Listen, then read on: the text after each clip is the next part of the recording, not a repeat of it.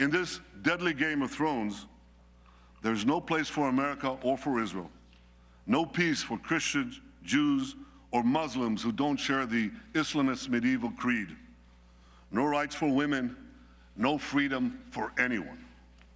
So when it comes to Iran and ISIS, the enemy of your enemy is your enemy.